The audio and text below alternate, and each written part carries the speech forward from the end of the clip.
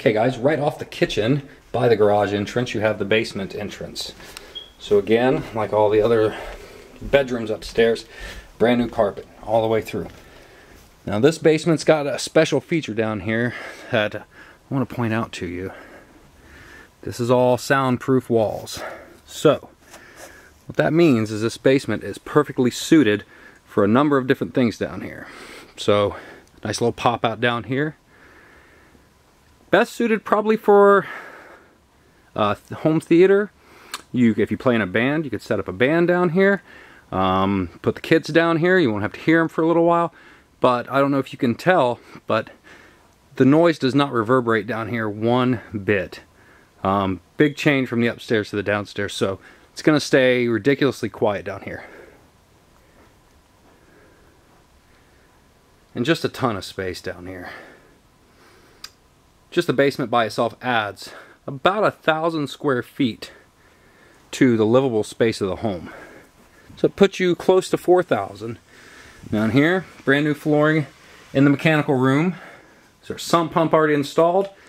And one feature that I like a lot about this house, you don't see in too many houses, the whole house vacuum. It's awesome. There are ports upstairs in each one of the rooms to hook up the hose to, to uh, vacuum the house so you don't have to lug a vacuum cleaner around.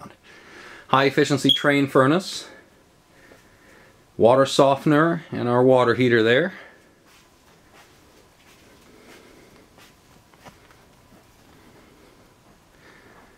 Coming back around, and this this is just huge down here. Vinyl windows, all your basement windows. Dry as a bone down here.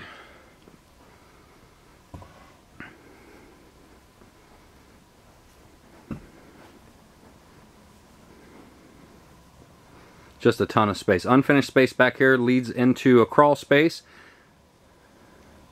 Just a ton of space in here. Check out this last bathroom down here in the basement. Again, brand new everything. Brand new cabinets built into the walls. These are all six panel doors all throughout the house. That same bathroom flooring we saw upstairs. New mirror, new wall mounted lighting pedestal sink, brand new toilet. It's just a beautiful, beautiful downstairs. Be a rec room, like I said, the home theater. You could have a band down here if you played an instrument, or just the kids' space. Put a TV down here, keep them busy all day long. Back in these cabinets here, you have your breaker box. You are on 200 amp service at this house, so if you wanted to install a hot tub or something like that, you've got plenty of space to do it. Let's take one more peek at that backyard so I can show you how open that is and then we'll have some final comments.